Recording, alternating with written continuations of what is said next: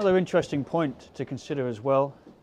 is how much of our history is rewritten for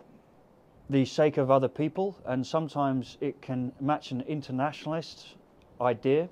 Sometimes the history that we're offered pleases modern minds far more than it would one seeking actual historical information. And that's why I always like to look a little deeper myself, and I can't advise enough that you do as well, because quite often the stories that we're given, even if they're by your favourite historians or documentarians, quite often they might either be giving you the nicer version or the tall tale version, which doesn't really paint the true depictions of us and our history.